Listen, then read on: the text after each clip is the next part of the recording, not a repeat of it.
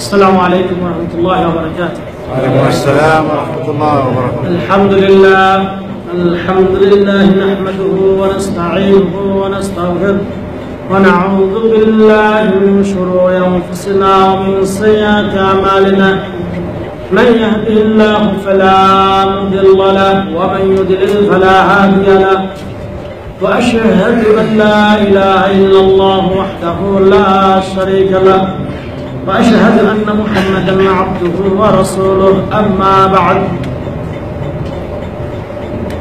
فقد قال الله تعالى في كلامه المجيد بعد أعوذ بالله من الشيطان الرجيم بسم الله الرحمن الرحيم وإنك لعلى خلق عظيم যাবতীয় শুক্র আল্লাহ রাব্বুল আলামিনের জন্য যার বিশেষ মেহেরবানিতে আমরা কিছু সময় দিনের আলোচনায় শরীক হতে পারলাম এই জন্য আমরা পড়ি আলহামদুলিল্লাহ।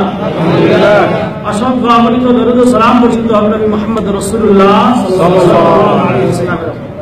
মহতরাম ভাই সকল আমরা আপনাদের সামনে গত সপ্তাহে একটা আলোচনা হয়েছিল যে নবী করিম তার জীবনী জানলে ফায়দা কি এ সম্পর্কে আমরা আলোচনা করেছি।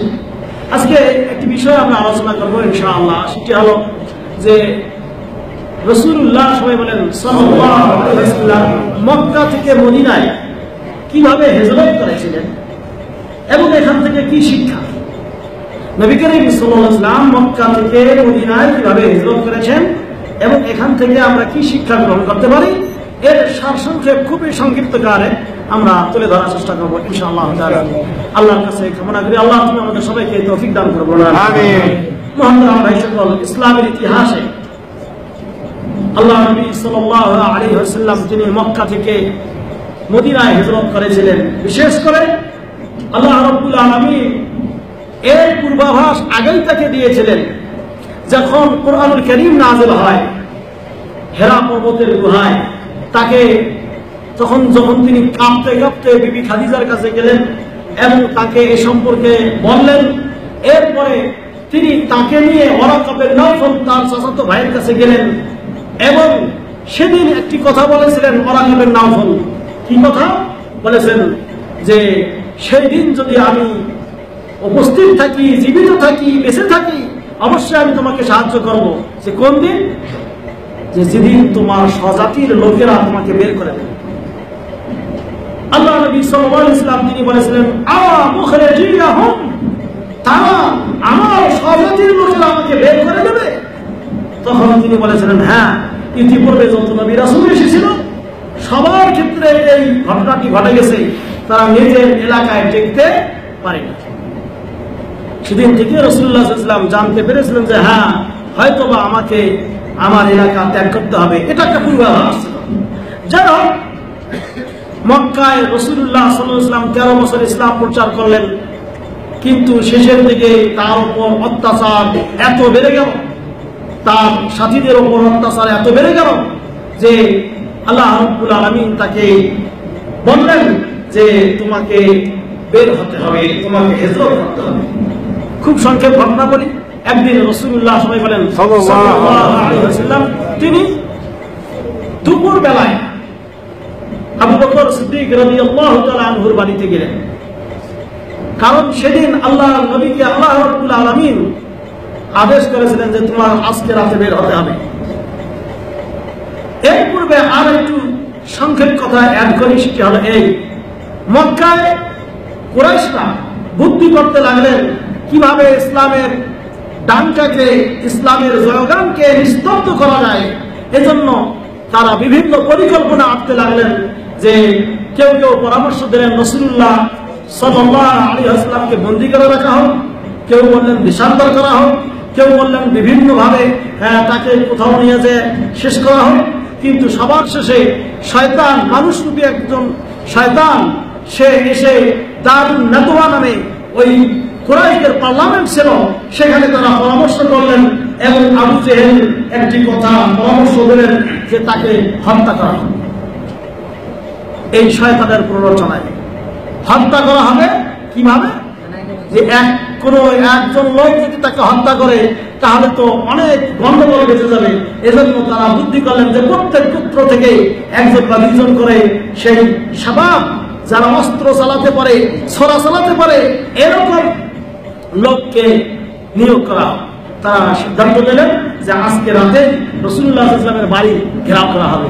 আর এই কথা এই কথা আল্লাহ রব্বুল আলমিন নবী করিম সাল্লামকে পৌঁছে দিলেন যে তারা তোমার সম্পর্কে ইয়াতামিরুন আবেগ তোমার সম্পর্কে তারা সারা পরামর্শ করতেছে যে তোমাকে হত্যা করবে, তোমাকে আজকে বের হতে হবে।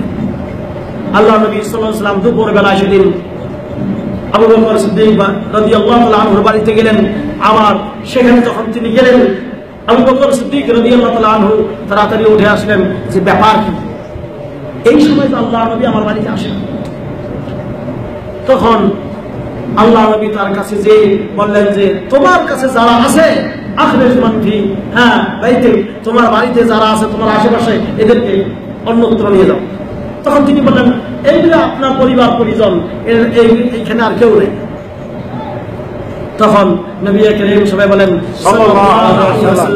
তাকে বললেন যে, আল্লাহ রব্বুল আলমিন আমাকে অনুমতি দিয়েছেন। আমাকে বের হতে বলেছেন, আমি হিজরত করব, আজকে হিজরত করতে হবে, আমাকে চলে যেতে হবে। তখন তিনি বারবার বলতেছিলেন যে, হে আল্লাহ নবী, আপনার সাথে আমাকে নেবেন, আপনার সাথে আমাকে নেবেন। এবং তিনি সেই খুশির চোটে তিনি কেঁদে ফেলেছিলেন। যাই হোক, এর সংক্ষেপ কথা হলো কি? আল্লাহ রাব্বুল আলামিন এই যে তাদেরকে বের হওয়ার খবরটা আল্লাহ দিয়েছেন, যেমন আল্লাহ ওয়াল্লাহু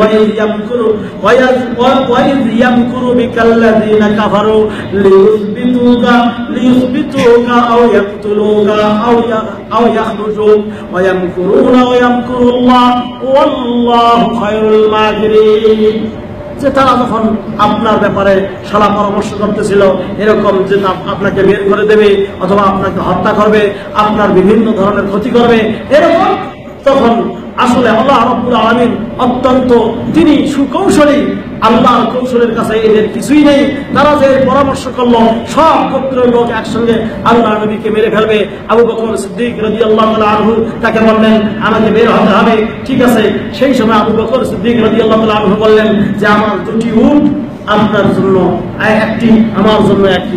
তিনি বললেন যে, এটার দাম হবে যাই হোক, এবং আল্লাহর তাফহিয়া আল্লাহর পথে তুমি দান করে দিতে পারো। এরপর এই পরিকল্পনা করে তারা বের হয়ে যাবেন এই সিদ্ধান্ত যখন রাতের বেলায় এসে আল্লাহ নবীর কাছে অনেক আমানত ছিল। এই আমানত গুলি তিনি কি করতেন? এটা ফেরত দিতে হবে। এজন্য আলী রাজি আল্লাহ আনহুকে বললেন যে, হে আলী, আমার বিছানায় আমার কম্বল গায়ে দিয়ে তুমি শুয়ে থাকবে। আর এই আমানত আমানতগুলি তোমাকে দিলাম এগুলি তুমি কি ফিরিয়ে দেবে? রাতের অন্ধকারে আমি চলে যাব।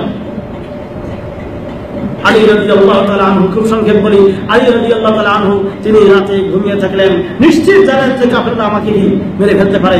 যেহেতু আল্লাহ নবী নাই, তার বিছানায় আমি শুনি রাতের অন্ধকারে রাতের অন্ধকারে আল্লাহ নবী সাল্লামের বাড়ির চতুর্দিক দিয়ে মক্কায় লিখেছেন যে যেখানে মাক্তাবা বানা হয়েছে হ্যাঁ?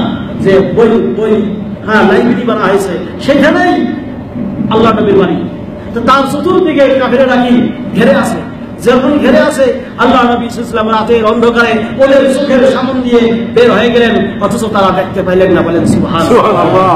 কারণ এখানে আরেকটা হেকমত আছে যে ওমা রমাইতা ইজ রমাইতা ওয়ালাকিন আল্লাহ রমা। কোরআন কারীমে একটা আয়াতে এমন বলা হয়েছে যে তুমি যখন নিক্ষেপ করেছিলে আসলে তুমি তো নিক্ষেপ করো নাই।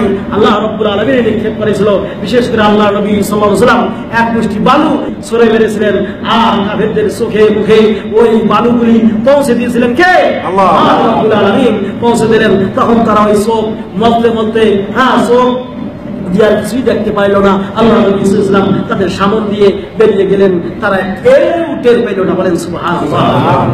এরপরে আবু বকর সিদ্দিক রাদিয়াল্লাহু তাআলা বাড়িতে তাকে নিয়ে তার একটি দাস ছিল তাকে সহ তারা চলতে লাগলেন।